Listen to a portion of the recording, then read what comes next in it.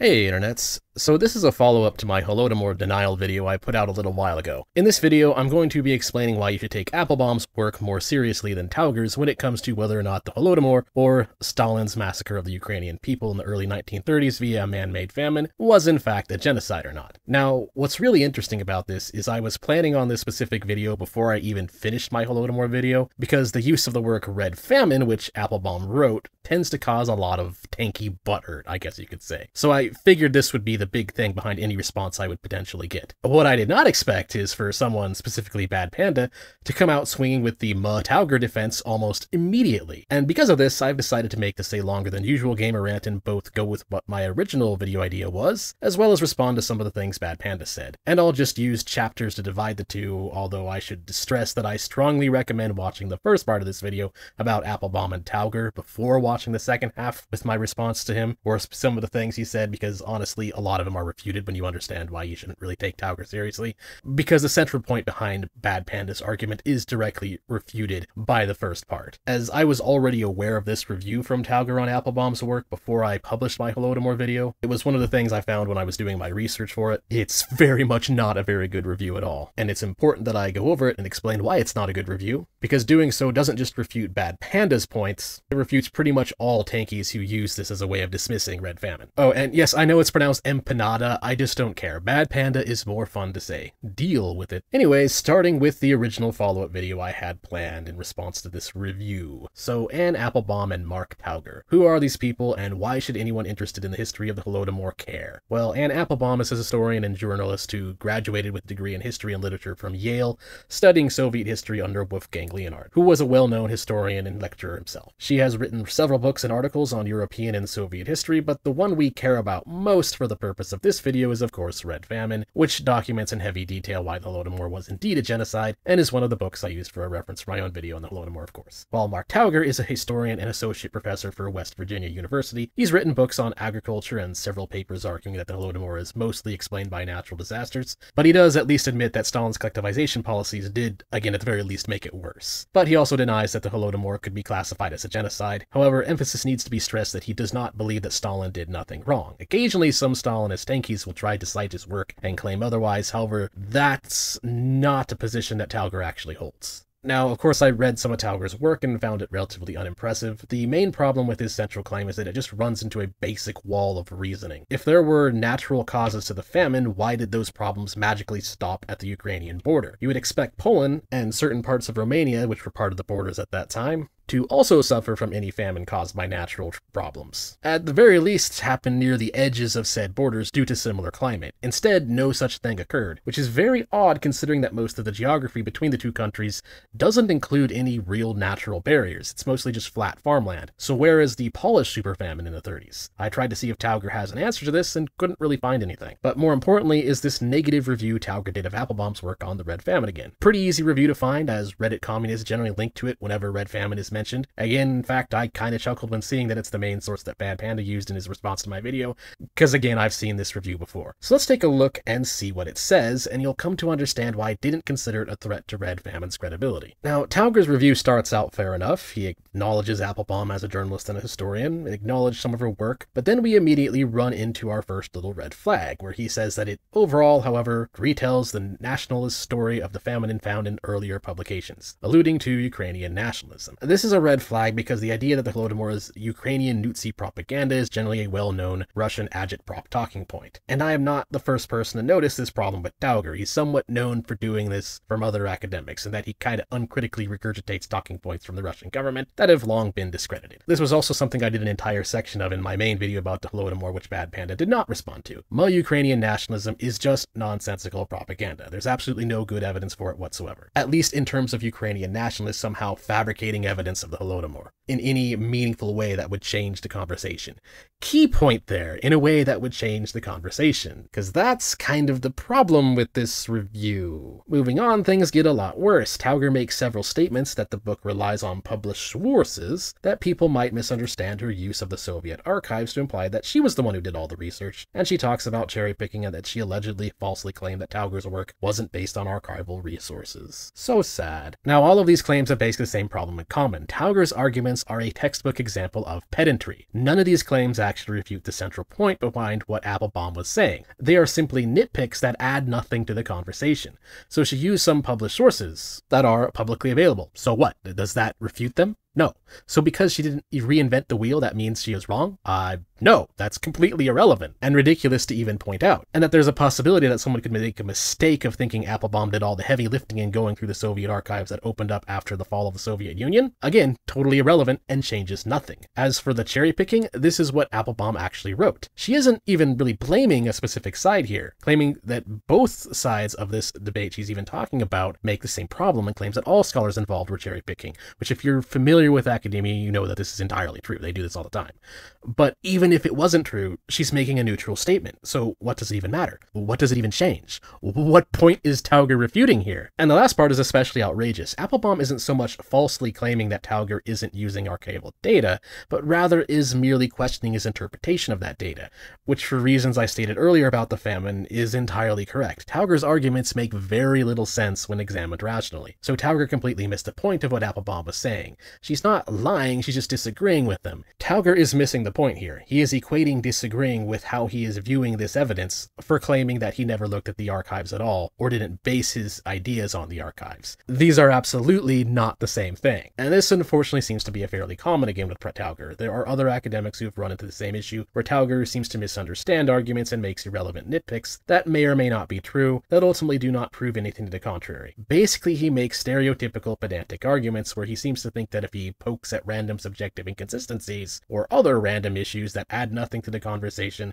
then this will somehow magically prove that his own interpretation of Soviet history is the correct one, despite the fact that his reasoning on this is generally rejected outside of being praised by Reddit commies, which again is no surprise because his reasoning makes no sense. Next up, Tauger argues against the definition of Holodomor. Again, same problem. The specifics of how Holodomor came to be used by Ukrainians to describe death by starvation ultimately do not matter. Even if Tauger is correct here, which he arguably is not as these specifics have been hotly debated, all Applebaum is really doing here is providing an oversimplification. And whether or not it's the academic definition or that her analysis of how it came to be is accurate, it certainly matches how the word Holodomor is used today, which means that once again, Tauger has provided us with an argument that may or not be technically true, but it's utterly pointless, proves nothing, and doesn't add to the conversation again.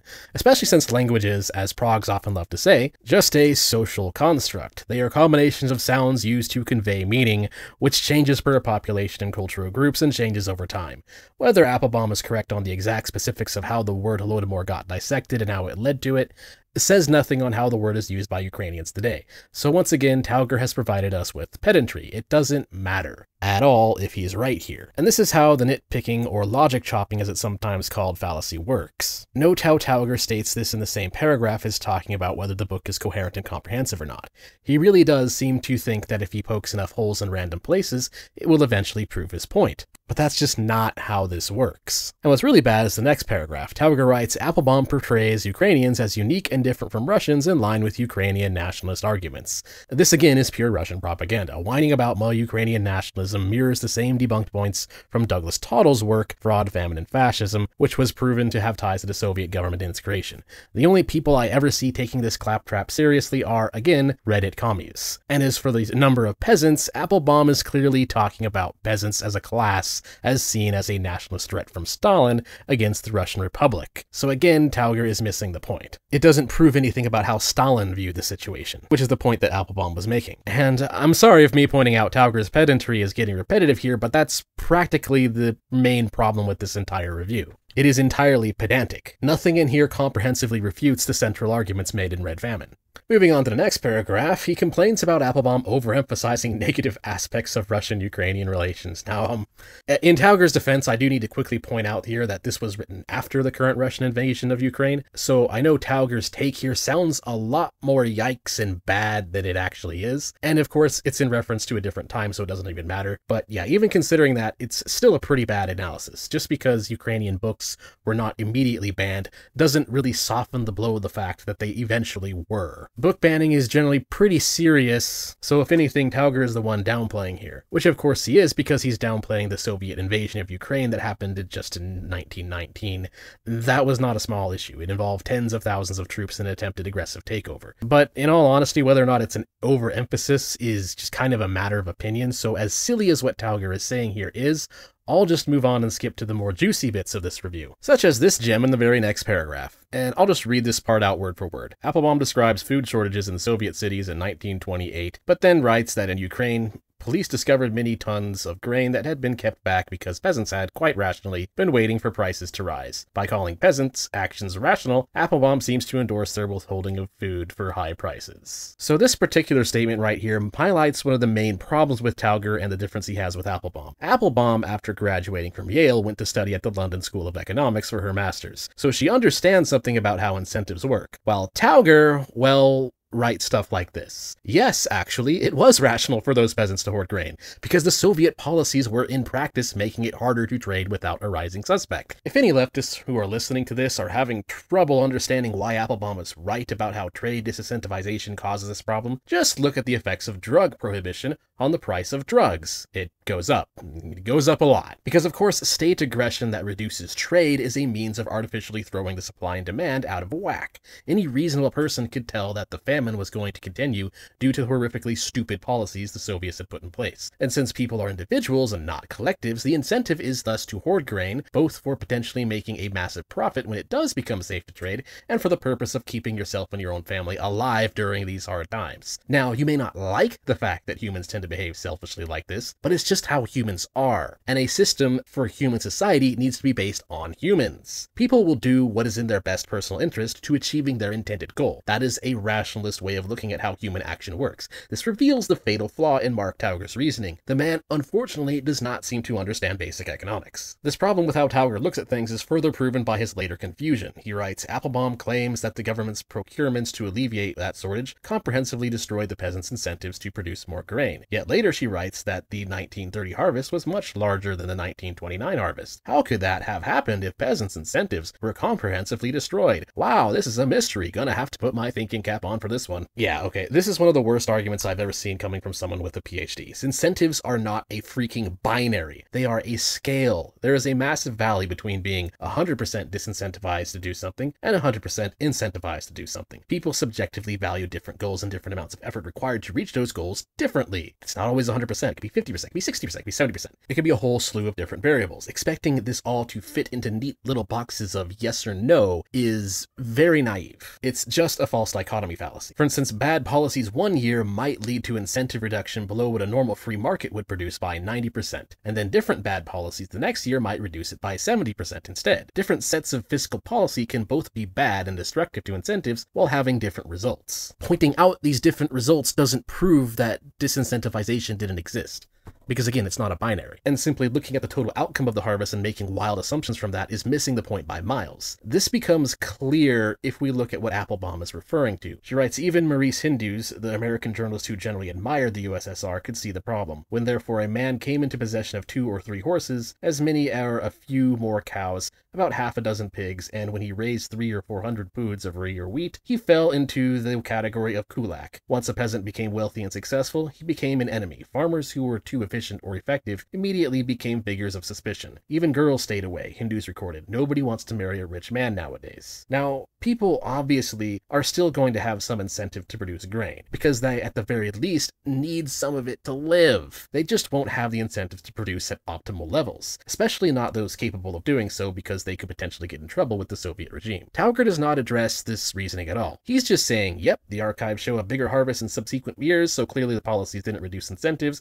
because humans are apparently robots with an on-off switch for incentivization, and if production one year is more than another, then it must have been switched on because there's nothing in between. Brilliant analysis, my dude. Brilliant, 10 out of 10. And there are other factors at play as well, which also are not binaries. For instance, bad weather can contribute to reduced harvests without being the primary cause of the famine. So if, say, the government's involvement is reducing incentives by exactly the same amount each year, we'll just say, hypothetically, 80% to keep it simple, and one year has bad weather contributing another minus 15% reduction and another doesn't, you will have a slightly higher harvest in one of those years. This differentiation in outcome proves absolutely nothing as to whether or not the policies are destroying incentives, and it certainly doesn't mean Ukraine, the weather is the primary cause if you compare it to what the harvest could have been without unnecessary Soviet interference in place. Tauger just doesn't seem to realize this, looking at it entirely from a black and white perspective. Now, there's a lot of other reasoning errors in this review, mostly all falling into the pedantry problem. But to keep this video concise, I'll skip to the part that counts the most, where Tauger finally attempts to refute Applebaum's main conclusion in her epilogue. We'll just read this. Neither crop failure nor bad weather caused the famine in Ukraine. Although the chaos of collectivization helped create the conditions that led to the famine, the high numbers of deaths in Ukraine between 1932 and 1934, and especially the spike in the spring of 1933, were not caused directly by collectivization either. Starvation was the result, rather, of the forcible removal of food from people's homes, the roadblocks that prevented peasants from seeking work or food, the harsh rules of the blacklist imposed on farms and villages, the restrictions on barter and trade, and the vicious propaganda campaign designed to persuade Ukrainians to watch, unmoved as their neighbors died of hunger. Alright, so finally Tauger is going to try and hit at some central points and make some meaningful arguments that aren't awful, allegedly. So let's take a look at this. Well, the first of these is once again Tauger not understanding that subtle differences in the harvest totals between years does not tell us the effect that Soviet policies were having on that harvest. Also, why is Tauger confused here about what Applebaum is referring to in regards to plans? Looking at the previous paragraph before she cites the harvest percentage difference between the USSR and Ukraine, she's clearly talking about the Soviet central planning operation as a whole. Tauger also points out how Stalin reduced the grain collections in subsequent years, and implies that Applebaum has no response to this, but she did. Nobody who is being serious, who takes the position that the Holodomor was a genocide today, believes that Stalin was trying to kill all the Ukrainians. That's not an argument we're making. Just enough of them to basically beat them into submission and satisfy Stalin over his concerns of Ukrainian nationalism and desire for independence from his repressive regime, which by the way, this was actually very successful. It would make sense that he would occasionally ease up just a bit based on how things were going. The numbers Tauger is citing here do not tell us anything that refutes this in any meaningful way,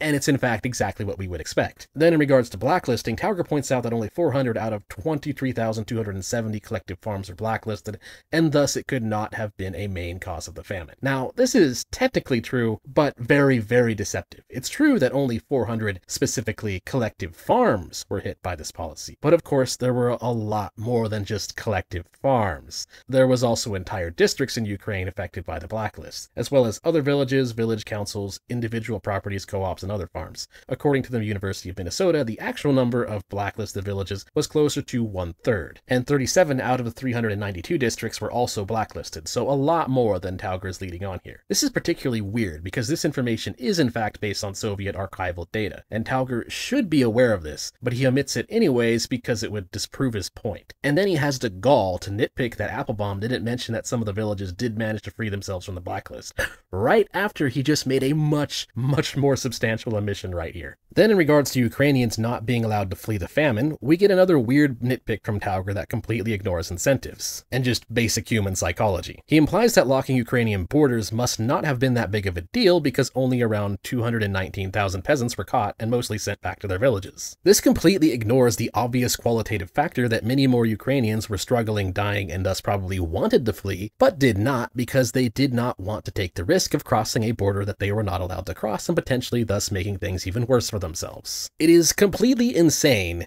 and nonsensical to judge the effects of a law just based on the number of people caught breaking it. Just going by that number of people caught tells you absolutely nothing about the number of people who would want to try and cross the border if the lockdown wasn't put in place. But of course, this is a qualitative factor and thus cannot be measured, and empiricists love to pretend that that means it doesn't exist. But just because you can't empirically measure a factor doesn't mean you can just get to play dumb and ignore it. Tauger is also ignoring the fact that barring Ukrainians from fleeing the famine while allowing other ethnic groups to do so is a massive red flag and smoking gun signaling Stalin's intentions. If the Holodomor wasn't a genocide against Ukrainians, it makes absolutely no sense whatsoever for this particular policy to be put in place ever in the first place. You would have to argue that Stalin somehow didn't know that locking Ukrainians into a region while his regime was repeatedly stealing food from them, while they were already starving, would kill them, which is of course completely ridiculous. Tauger also takes Applebaum out of context here. She never stated herself that beyond Kharkiv, where the Russian territory starts, there was no hunger. Rather, if you actually read her book, she is merely quoting an interview with a Ukrainian worker who believed this to be true. And she isn't exactly hiding this fact, it's very obviously the case that this is just an interview. And it says in her citation that this is an interview. Whether this is a case of Tauger being deceptive or if he just made a mistake and was only skim reading this part of Red Famine, I'll let you guys be the judge of that. Then in regards to food being stolen from people's homes, Tauger calculates that only 5,500,000 people out of 20 million would have been affected. Now again, the general number cited for those killed in the Holodomor is around 4 million, not 20 million. No one's actually making that statement. Again, nobody is making the argument that Stalin was trying to kill all of Ukrainians. I'm also not sure where he's getting this 100 number from. The hired brigades certainly had enough time to search a lot more than that. So this is likely a lowball estimate, but even if Tauger is accurate, 5,500,000 people killed through having their food stolen from them by the newly hired brigades is still a really large number and by no means a win. This is also another example of pedantry where the pedant will ignore the big picture. When historians who argue that the Holodomor was a genocide, it is well understood that it was more or less death by a thousand cuts, rather than one specific big edict. Lots of bad policies combined together is how the 4 million total came to be. Then in regards to the Soviet propaganda campaigns, Tauger nitpicks one issue that some of the propaganda, specifically the one about some peasants withholding grain, may have been half true. The problem is again that Tauger misunderstood the true reason why those peasants were incentivized to hoard grain in the first place, as I explained earlier, as it was primarily the Soviets' bad policy that caused the problem and created those incentives. This also ignores all the other general Soviet propaganda and agitprop that Applebaum was alluding to in her conclusion, which is well documented and not really disputed by anyone. So once again, Tauger has said something that is only technically true in a way that is irrelevant and misses the point and adds nothing to the conversation yet again, totally failing to disprove any central point here. As for what Tauger has to say against Applebaum's view that restrictions on barter and trade contributed to the Holodomor, this one is just kind of funny. Tauger writes that Applebaum does not present any evidence for her claim that limits on kolkhoz trade were a cause of the famine. Yeah, sure, not being allowed to trade grain surely would certainly have no negative effects on people's ability to gain grain. Another brilliant top mind economic analysis, 10 out of 10. Now, Tauger is technically correct that some provinces were eventually allowed to trade. The problem is this restriction never should have existed, period. You shouldn't need permission to trade food during a famine. That's insane. But let's talk about Soviet aid sent to Ukraine, because this is one point that tankies often try to use, and Applebaum did appear to get slightly wrong. It's true that the Soviets started aid slightly sooner than she claimed. The problem, however, is that the aid given to Ukrainians was utterly meaningless and a very small pittance. The poods of grain given through this so-called aid was only about 12 million, but the amount of grain the Soviets were demanding from Ukraine was 510 million poods. So let's do some basic math and reasoning here. Say your family needs 10 units of food to survive. Your farm produces 100 units. The government comes and steals all 100 units from you. But hey, they generously sent you an aid package and a couple months later with one unit in it. Such heroes, much wow. Aren't you glad for the government? Yeah, that's pretty much what's going on here with the whole, but the Soviet regime did send aid to Ukraine argument. Again, technically true, but utterly meaningless once you look at the big picture and overall numbers, because overall, it was a massive net loss, as evidenced both by the total numbers and, of course, by the millions of deaths by starvation, which would not have happened if the Soviets actually did care and were actually trying to help Ukraine and send meaningful aid. You don't just get to toss a crumb at someone and say, oh, hey, there, I sent you some aid. That's what you do when you're pretending to send aid aid, which is of course exactly what the Soviets were actually doing. This pittance they were granted comes across as more likely a way for the Soviet regime to try and hide what they were doing by telling the half-truth that, oh yeah, we did try to help Ukraine, we totally sent aid to them, and apparently the propaganda worked since tankies are still relying on this ridiculous spin job to this day. Then finally, Tauger argues that the 3.9 million death toll is still disputable, but cites no good evidence to the contrary. He then goes on to make his most pedantic argument in the entire stack. Tauger claims that Applebaum asserts that Kiev and Kharkiv had the highest mortality rates without providing any evidence. Okay, Listen carefully, because this is just next level redonkulous. It's true, technically, that Applebaum doesn't directly cite evidence for this. Rather, she cites a paper by Serhiy Plokhy, which then goes on to cite the research in the review Famines in European Economic History, the last great European famines reconsidered, which does include evidence that those places had the highest mortality. Now, sure, I guess Applebaum could have done better and just directly cited this review instead of citing someone else citing it, but that is so utterly pointless to point out. And of course, course, Tauger is lying by implication here by acting like this means the evidence doesn't exist.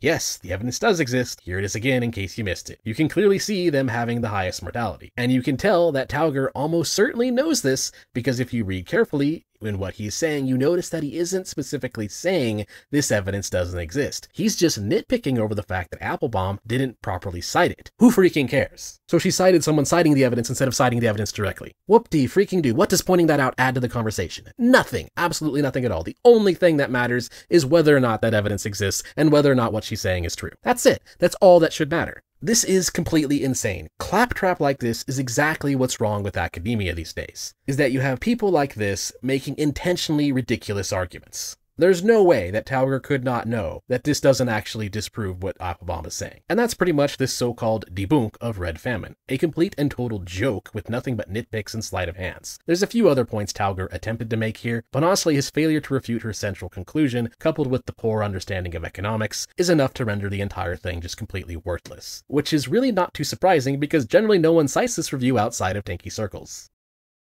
Anyways, with that out of the way, I would like to now go over some of the things Bad Panda said in response to my Holodomor video. Although, to be honest, if you understand why Tauger's review of Red Famine isn't exactly the genius evisceration communists make it out to be, you kinda already understand enough to understand why Bad Panda is wrong, as his entire central point of what he's saying relies on the review I just went over in order for it to even make sense. Which means that technically I could actually get away with not responding to it, but I should anyway just because there's some things that really need to be pointed out here. There is a very big difference between tankies and Tauger. Mark Tauger doesn't really strike me as a tanky. He's just someone who has staked his position on the Soviet famines on a take that hasn't really aged very well as there's more rational examinations now of the evidence in the Soviet archives, which prove that Robert Conquest was in fact mostly correct all along. And so now Tauger has to defend his position by resorting to academic nitpicking at things that don't really matter. Tankies, on the other hand, tend to rely on some arguments that are a little less pedantic and much more closer to just outright lying, gaslighting, and other rhetoric, although they do rely rely on pedantry as well. So let's look at a few things here. I'll start with this. He basically just sort of talks really smugly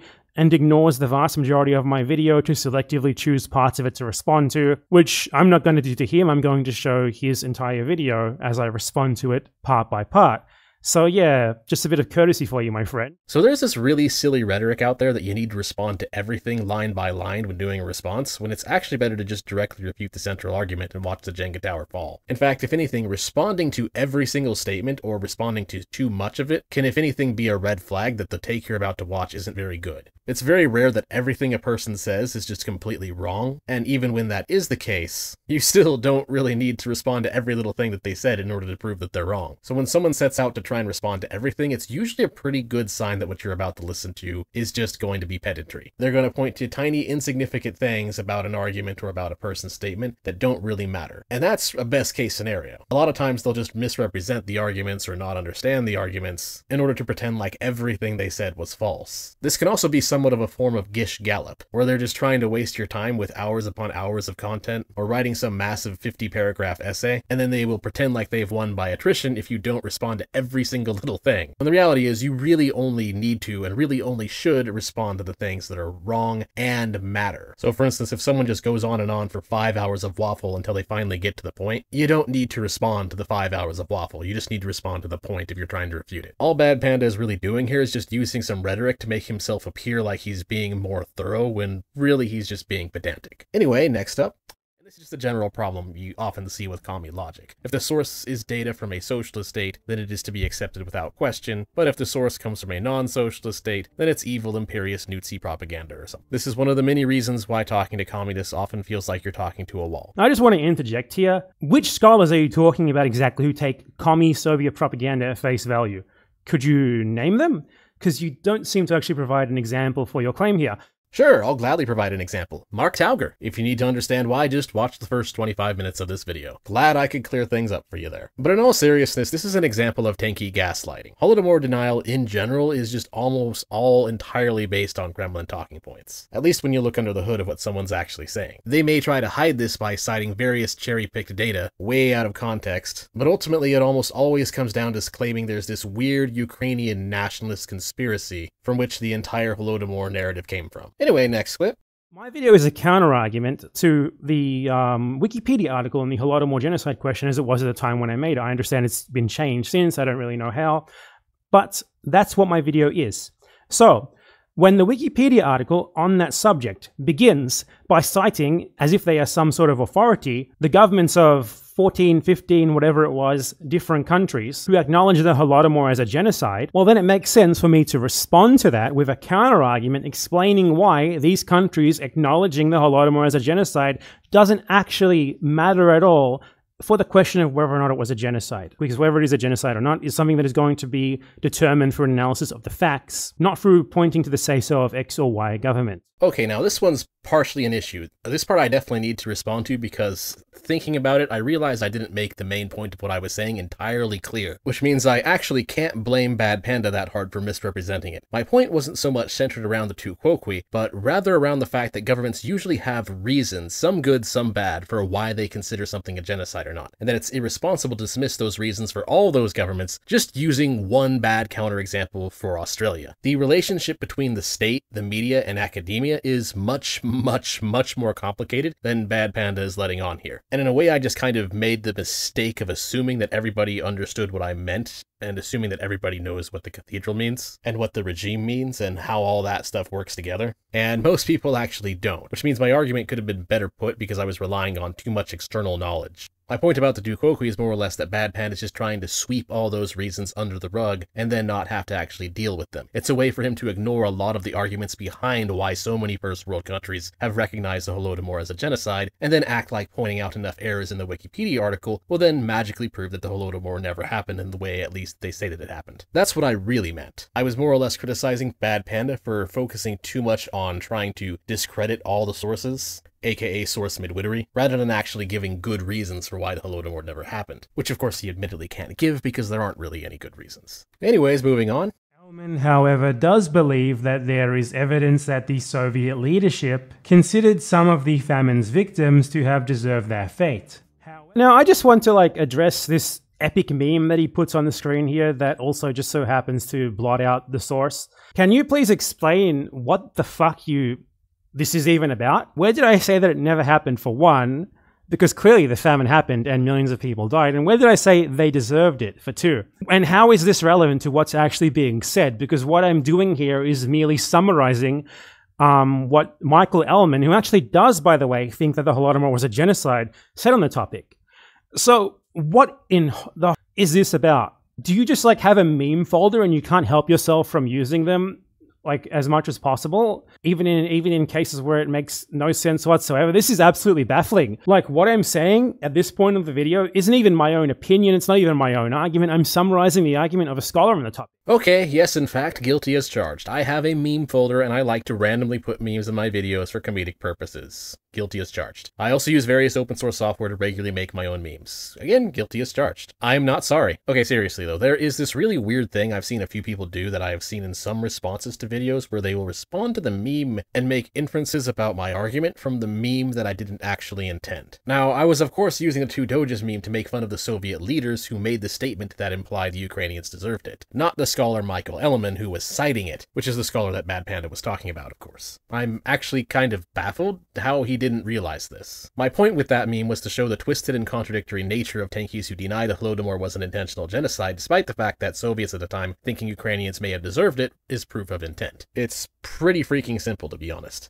Anyways, next clip. Okay actual issue with Ellman's argument here and the affirmative for the Holodomor genocide question in general is there is no proof of specific intent regarding the targeting specifically of Ukrainians. That is to say, measures were taken against peasants for being peasants, whether they were Russian, Kazakh, Ukrainian, or any other nationality. Okay, now this is just pure gaslighting, but luckily it means I can finally get into something a bit more juicy, so I'll answer this question for him. Now, first off, again, to some degree, this is already refuted by the first part of my video, but in case you missed it, I'll just give you all a quick summary of the evidence that Ukrainians were targeted during the Holodomor. First off is the fact that Ukrainians specifically were banned from fleeing the famine and their borders were locked down while other ethnic groups were allowed to do so.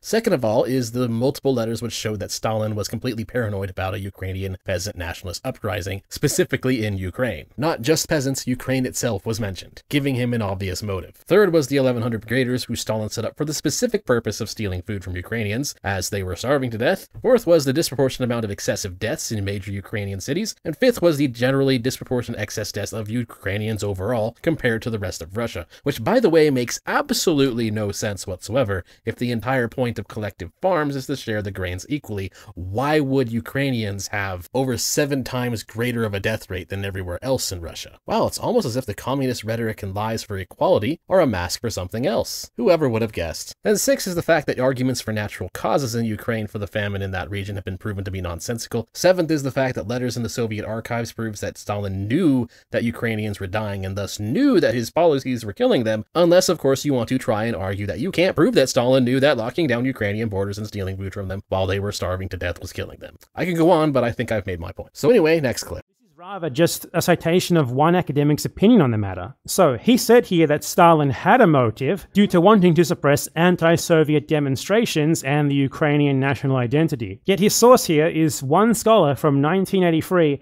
simply stating that Stalin had planned it carefully and that it was intended from the start to subdue and Sovietize Ukraine. All of this is simple statements that are backed up by no evidence. It's this author, Woropay, says this Therefore, it's true. If you actually have specific evidence that Stalin intentionally caused the famine to attack anti Soviet demonstrations and Ukrainian national identity, I would hope that you could provide it because it's something that has eluded scholars up until this point. So this is one of the things I meant when I accused him of source midwittery. A common rhetorical trick Tankies will pull when they are denying historical events in regards to Soviet Russia and the crimes that they committed is that they will demand primary evidence for it and then disallow you from using any historian who doesn't agree with what the Tanky is saying. The reason this is deceptive is because historians generally mine hundreds of thousands of documents from hundreds of archives and compile them together into a cohesive statement. So by asking you to do this for them, the Tanky is asking you to effectively reinvent the wheel and redo do all the heavy lifting, demanding that you redo the work the scholar already did. The reason they ask this is, of course, because they know that doing this can take months, possibly even years of grueling time. While on the flip side, for them, there's no effort whatsoever. It only takes them less than a minute or so to demand you reinvent the wheel for them. So it's basically a form of Gish Gallop. It's designed to waste your time while making them appear correct because you can't immediately always give you the evidence in the way that they're asking for it. It's one of those things that sounds like convincing rhetoric until you understand the trick behind it. Oh, and by the way, it's effectively the same rhetoric in regards to the Holodomor, when they say that the Holodomor being a genocide has been debunked by the opening of the Soviet archives, and then they don't actually specify exactly what they're talking about. Because, of course, that's also nonsense. Anyways, next clip. Okay. This part of the video is citing a book by Anne Applebaum, who is a journalist for one, not a historian, and it is again making a pretty empty statement. In 1933, the cities knew the villagers were dying, the leaders and administrators of the Communist Party and the government knew the villagers were.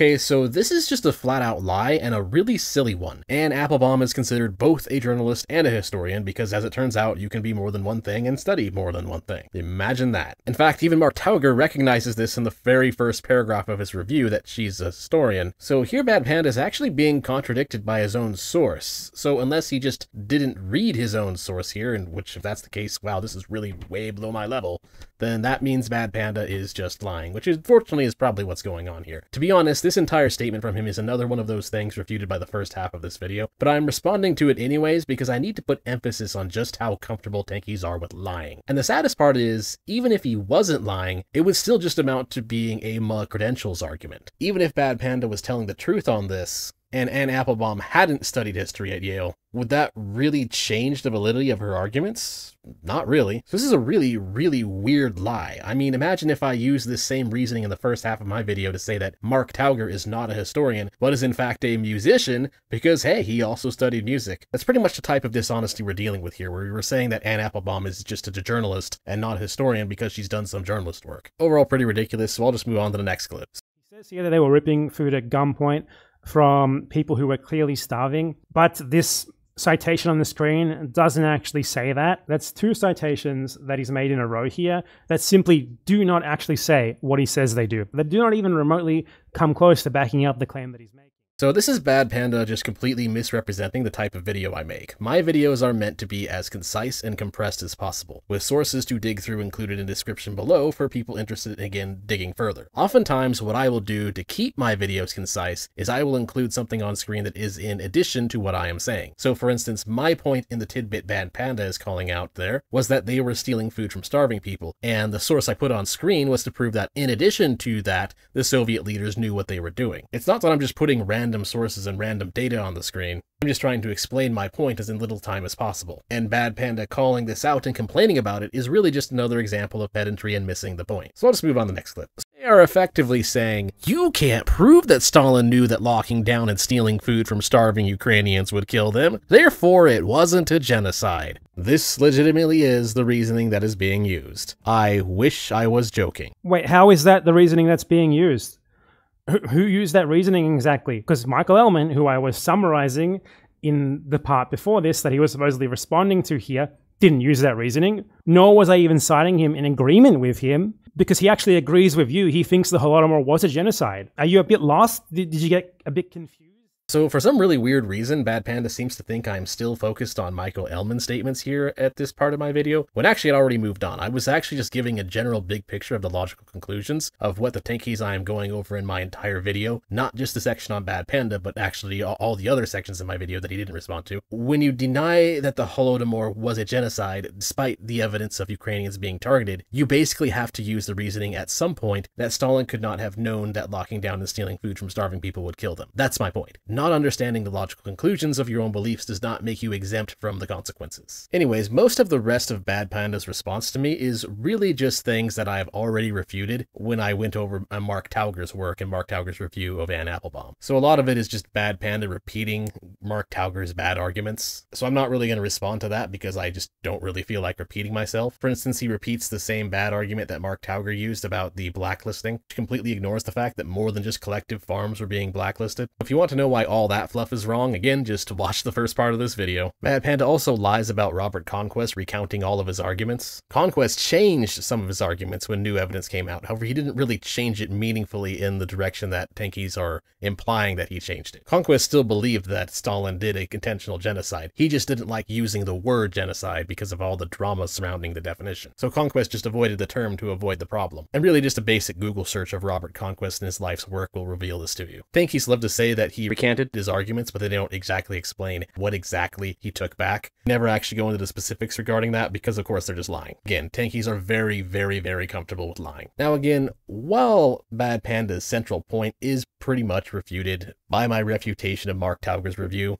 as a bonus, there's one last thing I want to go over. Even though it doesn't have anything to do with the Holodomor at all, I want to go over this just as a final thing, a nice little bonus for this video, because it's an extremely silly and immature argument I see a lot of political pundits and a lot of political streamers and other political or philosophical uh, YouTube channels doing, and it's a really silly thing to say. So here it is. And buddy, if you think the New York Times is left wing, I don't even know what to say to you. You've got you've got some problems going on there in the brain of yours. So yeah, there's this really weird thing people will do where they will say a source is right wing when it isn't, or left wing when it isn't, by placing themselves at the center. This is the same awful reasoning that Second Thought used when he tried to say the Atlantic was a right wing source, simply because it is right wing in relation to him. This is of course completely absurd. You can't just treat your own political and philosophical views as the center of the universe. If we all did that, then right and left would very quickly dissolve and lose all meaning to it. For example, me, I'm a far right libertarian myself. I'm not exactly hiding it, it's in my bio. So I could technically use this exact same silly reasoning to say that a publication like the New York Post is actually far left, or that even Newsmax leans left. But of course, I'm not going to do that because I'm not a centrist, and placing yourself as the center by which to judge everything makes absolutely no sense unless you yourself actually are a centrist. So the correct way to see if a publication leans left or leans right is to look at it in relation relation to everything else. And I honestly find it really bizarre just how many content creators don't seem to understand this. But anyways, getting back on topic, because again, that doesn't have anything to do with the Holodomor. My conclusion here is that there's a very good reason why the general academic consensus is against Mark Tauger. And no, it's not because there is some far-right conspiracy in various first world countries to make communism look bad. It's because Tauger's reasoning is terrible and based entirely around nitpicks and misrepresenting data, and any communist who cites him doing this is therefore wrong for the same reasons that he is wrong. Anyways, that's all for now. That was a pretty long one, but if you enjoyed the video, feel free to like, subscribe, leave a comment for the algorithm, tip my Ko-Fi or whatever. Till next time.